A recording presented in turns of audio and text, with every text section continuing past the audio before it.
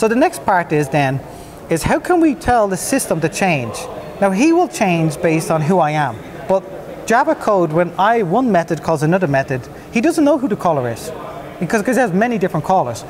But he want and he he can't recognize them. Now he could probably look up the stack and see the next frame, but that doesn't really tell him who the application is. So if I'm a hash map and I know I'm creating a new hash map, what size should I take? So typical hash maps will take about 16. Right.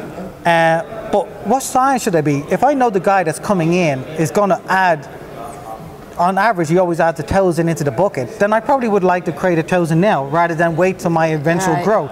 So what I can do then is, every time someone interacts with me, I create a signal set, you know, different signals. I might not just have one, but one of them will probably be, I resize the map and I give it back to him.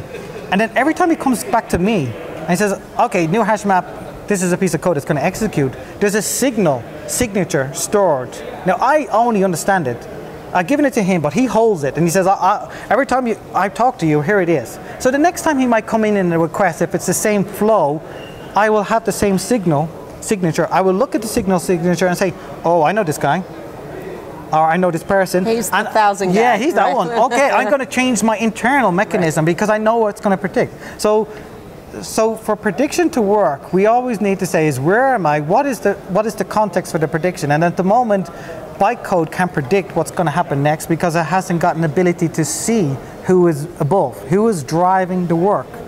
But the, so the signal is like a kind of like a code. Here's the code, give it back to me, and I recognize it. And I think it's like a call center. Like when you have you're working in a call center, and someone rings you, and it's a particular customer. If you had a previous interaction with them and it wasn't so good, you probably would change know your behavior. So okay, so sometimes you don't want the customer to know that you gave a signal that says warning. customer will. Difficult so, yeah. guy. So but you might give them something back to say, give it back to me, and then I know who you are. Because you're going to have many. A hash map is going to have many callers. But if everybody gave a signal, then he can optimize himself. And that's how we create truly adaptive systems. That's how we can say, we don't have to worry about which ha- hash map default size is. We let the system learn and try to predict it every time. And of course, the signal set will change.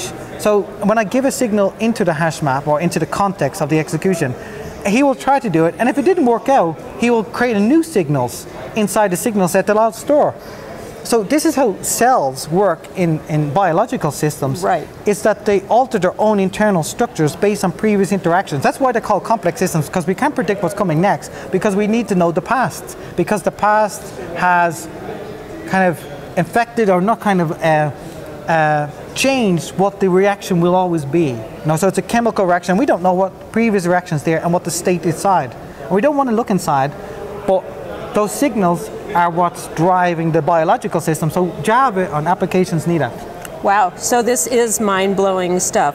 Is this okay. theoretical slideware, No, no, so, no, no. really this is yeah. We, it we, we demonstrated how we can already change the behavior, how we can optimize. We're focused on performance in this regard, but I see this very applicable to uh, to any type of system.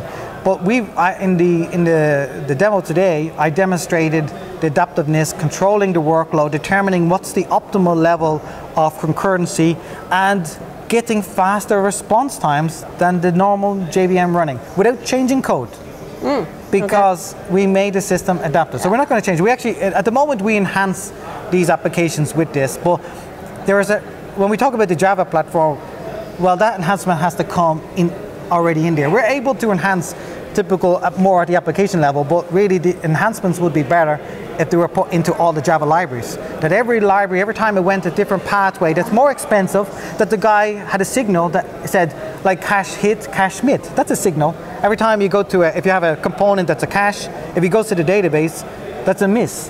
And then, I, I- and then when it's in memory, it's a hit. And if I could know that, then I can see that the ratio, and I can understand why my particular transactions are slower than other transactions because maybe they always hit the cache and the other ones had to hit the database or mm-hmm. something like that, or some other Right. external data grid. Okay, so that's the base. That's the first part. that's the first session. Then, oh my the- okay, so we build on that because okay, so now we've got this application memory, because signals represent a kind of a memory of the system that's external to the code because we can't put it in the code. We want the code to have this memory, but it's contextual, con- conversational. Everything, our view is that all data is conversational. That every part is like when you interact with a company, they, they, they, you're a customer. That's a kind of a customer conversation. Then when you have a particular order, it's a it's an order conversation in, in the context of a customer.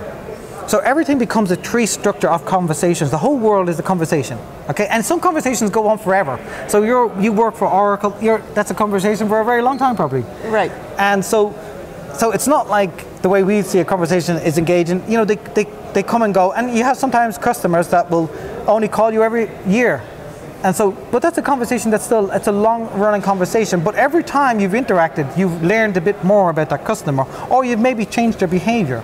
Now, like, so if you think about uh, a service supplier, or like, like take a car dealer, I go into a car dealer, I ask for service on my car. Let's say the service wasn't good, I'm unhappy, I make, make a complaint. The next time I go into that, I want him to remember who I am and to change his behavior, roll out the red carpet, and give me a better service. You want that at least at least once to get the better service. Now, of course, then as soon as he gives me that, he's going to change his behavior because after that, I become a normal person because he's he's already got rid of the previous history. He said, okay, I gave him a good service. Now he can't expect it all the time. I jumped, you know, through loops or something for that. But, Wow. Okay, so so you see, he's adapting. So even So what you're saying is software is kind of stupid, right? software is dumb. It's because it's memoryless, so th- it hasn't got this memory. Okay, it has memory in terms of there's a database, Right. there's technical memory, but it doesn't have Context. context memory, Right. con- conversational. Okay, so we had that. Then the okay, the problem that we have is we're moving to the cloud, and JVMs are coming up and down. This is the whole elasticity of the cloud that you can applications can come up and they can come down because you're you're you're, you're doing that because of capacity issues, and you don't on cost because every JVM or a machine itself uh, consumes cost because you're renting it. And so everything becomes more transient. Now and, and the, but the application is transient today because if i start a java app it starts up if i shut it down and start it up again it will do the same behavior. And let's say there's a, an error in it. Well every time i start it up it will probably crash. It's not going to say oh, i remember what i did I the last time. I'm not going to crash. I'm not going to do that code. And the reason i can't do that is because there's nowhere there's a memory of it. Now okay so this is where we come to the next stage. Is okay where do i put that memory? Well the answer is the matrix. Okay. Okay. Now we're So, getting really okay. freaky. So, okay, so before I go into what the matrix is, No, I- William, I'm sorry. I got to cut you off, man, because we just want to give people a oh, taste and Oh, okay. not a complete brain dump Okay. here. But I'm sure they can learn more, okay, right, from you. Well, okay, well, very quickly, Like, the matrix is the memory for all the JVMs. So every time a JVM starts up, it connects mm. to this matrix. It's a single JVM, Right. And it stores its memory. The memory in terms of behavior, not the data, not the databases, nothing like that. And that's it, the memory. So, so when my JVM shuts down and starts back up, it connects and says, I am this JVM. And he says, here, you're Neo, you need, and he downloads his informational pack. And that's the signals that we've stored. So we have signals now in the in the matrix, and the signals are brought back into the JVM, and the JVM looks like it has a memory. Wow, very cool. Thank you so much. I'm going to cut you off. No, my no, brain, my no. brain's blowing up here, so I really appreciate it. And um, we're going to get more information from you. I bet you I'm going to make you write an article or something Okay, like that. yeah. So thank you very much. Okay. This is Tori Wieldt from the Oracle Technology Network. Thanks.